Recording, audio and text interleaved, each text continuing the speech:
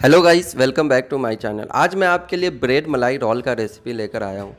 इसका टेस्ट बिल्कुल सेम रस मलाई जैसा होता है। आप जब इसे खाएँगे तो आपको ऐसा लगेगा कि मैं रस मलाई खा रहा हूँ। ये बनाने में बहुत ही कम टाइम लगता है और बहुत ही कम सामान का ज़रूरत पड़ता है। आप इसे अपने घर पे एक बार ज़रूर ट्राई करें। आपका जो ब्रेड रोल बनेगा बिल्कुल सेम मेरे जैसा बनेगा। तो चलिए स्टार्ट करते हैं। ब्रेड मलाई डॉल बनाने के लिए मैं यहाँ पे स्लाइस ब्रेड ले लिया हूँ। ये ब्रेड आपको ईज़िली आपके पास वाले शॉप पे मिल जाएगा। मैं जो ब्रेड लिया हूँ, वो सिक्स पीसेस लिया हूँ। मैं सिक्स पीसेस ब्रेड का यूज़ कर रहा हूँ। मैं इसके साइड वाले पार्ट को काट के हटा दूँगा। आप देख सकते हैं, मैं जो ये साइड वाला पार्ट है, उसे मैं काट के हटा रहा हूँ। इसे काट के हटाने के बाद ही आप जो रोल करेंगे तभी आपका बनेगा। अगर आप चाहेंगे कि इसको काट के नहीं हटाएँ, तब भी बन जाएगा, लेकिन थोड़ा डिफ़िकल्ट होगा, फिर भी उसके बाद बन जाएगा। इसी तरह मैं सारे को, मैं साइड वाले पार्ट को मैं काट के हटा दूँगा। उसके बाद मैं बेलन से इसे बेलूँगा। जैसे रोटी बेलते हैं, आपको सेम उसी तरह बेलना, यानी ब्रेड को आपको पतला कर देना फ्लैट कर देना। तभी आपका जो रोल जो आप फोल्डिंग करेंगे, तभी आपका फोल्डिंग होगा और वो रोल बनेगा। अगर आप बैलेंस से इसे नहीं करेंगे, अगर रोल को आप जब आप फोल्डिंग करेंगे, उस टाइम जो रोल होगा, वो आपका फटने लगेगा, सही से फोल्डिंग नहीं होगा। इसलिए इसी तरह आपको सारे ब्रेड को फ्लैट कर देना बेल लेना है। अब मेरा यहाँ पे सारा ब्रेड बेल कर रेडी है पतला सा। अब मिल्क लेकर मैं उसका मलाई बनाऊँगा। मैं यहाँ पे हाफ़ लीटर मिल्क का यूज़ कर रहा हूँ। आप देख सकते हैं, मैं यहाँ पे जो मिल्क लिया वो फुल क्रीम मिल्क लिया हूँ। आपको भी फुल क्रीम मिल्क का ही यूज़ करना है, क्योंकि मुझे मिल्क को रिड्यूस करके हाफ़ कर देना है, यानी 250 करना है। अगर आप टॉन मिल्क लेते हैं तो उसमें आपका टाइम भी ज़्यादा लग जाएगा रिड्यूस होने में बहुत ज़्यादा टाइम लगेगा और गैस का भी वेस्टेज हो जाएगा। मैं यहाँ पे फुल क्रीम मिल्क लेकर मैं इसे अच्छे से मैं पका रहा हूँ, उसको, उसका जो मिल्क जो है मैं उसे रिड्यूस करके मैं 250 करना है। देखिए, यहाँ पे अच्छे से गर्म हो रहा है। आपको मिल्क को लेकर उसे बहुत टाइम तक आपको पकाना है। मैं यहाँ पे 100 ग्राम शुगर डाल दिया हूँ। आप अपने टेस्ट के हिसाब से कम ज़्यादा डाल सकते हैं। फिर उसके बाद मैं इसमें थोड़ा सा सेफ्रॉन वाटर डाल दिया अगर आपके पास सेफ्रॉन वाटर नहीं है तो आप येलो कलर भी यूज़ कर सकते हैं, नहीं तो डायरेक्ट आप सेफ्रॉन भी इसमें डाल सकते हैं। देखिए, हमारा मिल्क यहाँ पे रेडी है। 250 ग्राम हमारा मिल्क हो गया हाफ़ रिड्यूस हो गया है। इसी तरह आपको सारे मिल्क को लेकर उसे पकाकर अच्छे से हाफ़ रिड्यूस कर देना। अब मैं रोल के लिए उसका फिलिंग बनाऊँगा। फिलिंग के लिए मैं यहाँ पे मिल्क पाउडर का यूज़ कर रहा हूँ। ये जो मेरा मिल्क पाउडर है, ये 50 ग्राम है 50 ग्राम ये मिल्क पाउडर है। मैं 50 ग्राम मिल्क पाउडर को एक फ्राई पैन में डाल दिया। इसमें तकरीबन मैं 50 एम तक मैं इसमें रिड्यूस किया हुआ जो मलाई वाला जो मैं मिल्क का जो बनाया था, वो मैं डाल दिया।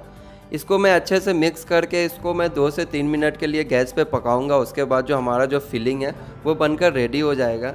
आप देख सकते हैं, मैं यहाँ पे मिल्क पाउडर लिया हूँ, फिर इसमें जो मिल्क मैं जो ऐड किया हूँ, जो मैं मिल्क जो बनाया था मलाई वाला, वो मैं इसमें डाल दिया हूँ।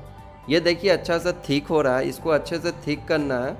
थोड़ी देर में ही हो जाता है मिल्क पाउडर है तो थोड़ी देर में ये हो जाता है, दो से तीन मिनट लगेगा, आपका ये रेडी हो जाएगा। अब मैं इसमें कुछ ड्राई फ्रूट ऐड करूँगा। ये ऑप्शनल है। आपके पास जो भी ड्राई फ्रूट है, आप इसमें डाल सकते हैं। ज़रूरी नहीं कि आपको आलमंड और पिस्ता ही डालना आपके पास जो भी ड्राई फ्रूट है, आप डाल सकते हैं। अगर आपके पास नहीं है तो आप इसे स्किप भी कर सकते हैं। आप देख सकते हैं हमारा फिलिंग बहुत ही अच्छा बन रहा है, बिल्कुल रबरी जैसा बन रहा है, बहुत ही ज़्यादा टेस्टी है, क्योंकि मैं इसमें कोई इस तरह कुछ ऐड नहीं किया हूँ ओनली में, इसमें मिल्क पाउडर है मिल्क है और ड्राई फ्रूट है। हमारा फिलिंग जो है वो बनकर रेडी है। अब मैं ब्रेड के अंदर फिलिंग करूँगा, उसके बाद जो हमारा रोल है वो बनकर रेडी हो जाएगा। देखिए, मैं यहाँ पे टू स्पून एक ब्रेड में टू स्पून मैं इसमें फिलिंग डाल रहा हूँ। इसी तरह आप कम ज़्यादा इसमें डाल सकते हैं फिलिंग आपके ऊपर डिपेंड करता है, आप जितना इसमें फिलिंग डालें या आप जितना क्वांटिटी में बना रहे हैं, उस हिसाब से इसमें फिलिंग डाल सकते हैं। फिलिंग डालने के बाद इसे फोल्डिंग करना है रोल के जैसा। आप देख सकते हैं मैं कैसे फोल्डिंग कर रहा हूँ। आपको सेम इसी तरह आपको फोल्डिंग करना है। सारे ब्रेड को जितना भी आप बना रहे जितना भी क्वांटिटी में ब्रेड के ऊपर वन टीस्पून आप डाल सकते हैं टू स्पून डाल सकते हैं फिलिंग कुछ भी डाल सकते हैं। डालने के बाद आपको इस तरीके से फोल्डिंग करना है। फोल्डिंग करने के बाद एक तरी, एक जगह से आपको रख देना है, एक साइड से। देखिए, मैं यहाँ पे इसी तरह मैं सारे, मैं जितना भी ब्रेड का बना रहा हूँ, सारे को मैं फोल्डिंग करके रेडी कर दूँगा। उसके बाद, ये देखिए, हमारा सारा फोल्डिंग होकर रेडी हो गया है। अब मैं जो वो मिल्क जो बनाया था, जो मैं रिड्यूस करके जो बनाया था मिल्क ये हमारा रेडी है। अब मैं इसके ऊपर से ये मिल्क डालूँगा। ये जो हमारा मिल्क है, वो सेम रस मलाई जैसा है। आप देख सकते हैं कि कितना अच्छा बनने वाली ये रेसिपी है।